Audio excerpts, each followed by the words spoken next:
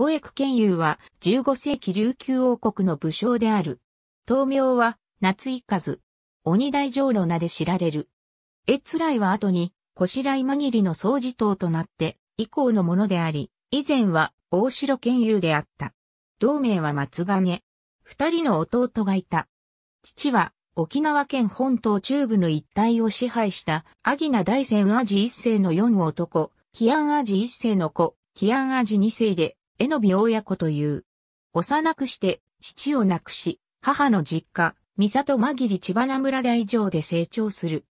琉球王国の聖史である、九尾によれば、人並みは、ずれた体格で武勇に優れ、狼虎のごとしと例えられる。そこで周囲の人は、鬼大城とあだ名した。一体を治めた小白王子、小安久に二人の弟と共に仕え、小安久が王位を継ぐと共に、王府、首里へと登る。王女百度、東上げが雨割りに嫁ぐにあたって、その従者となる。雨割の範囲を知り、百度、東上げを背負って、城から逃げ出した。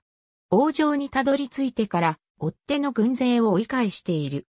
そして、王から討伐軍の指揮を任され二人の弟と共に軍を率いて、活連城を包囲するが、城は堅固で攻めあぐねた。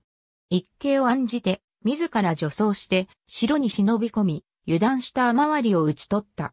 この戦では、弟の研究、剣陽が共に戦死している。この功績で、古市来間切掃除当職を授けられ、古市来親方剣友と名乗った。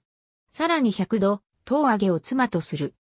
後に、内間金丸擁立のクーデターで、第一直しが攻め滅ぼされると中心であった五駅県友も攻められ最後は、千葉城の中原にある洞窟に追い込まれ、日攻めの末に殺されたとされている。子孫は、マブに紛り掃除島の夏市マブニー殿内。鬼大城が雨割りを切ったとされる刀が、昭和初期まで伝来していたが、沖縄戦以後は不明である。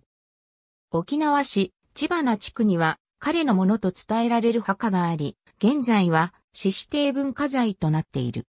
なお、本人が養殖についていたのは間違いないにしても、親方号が琉球で使用されたのは17世紀からであり、剣友という名も子孫が後に定めたものと考えられている。ありがとうございます。